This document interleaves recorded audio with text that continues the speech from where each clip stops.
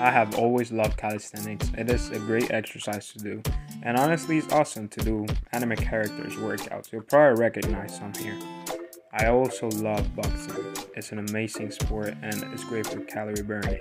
I burned 2,500 calories. I highly recommend you to give it a try.